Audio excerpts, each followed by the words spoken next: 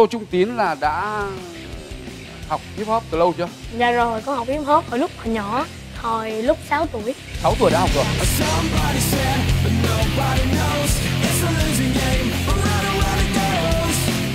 Thế bình thường thì ờ, một tuần con mấy buổi tập? Dạ một tuần á thì con tập ở à, ba bốn ngày.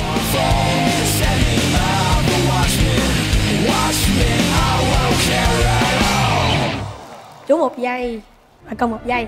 Giờ chú Ờ. làm theo con nha. Đưa vô cổ. Thắt lại, Hát lại này à? thắt lại dạ.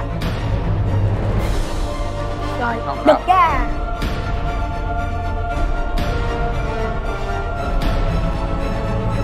Rồi, bật ra. Giật thì nó làm sao? Giật ra. Ê, Con con sư dạy chú rồi.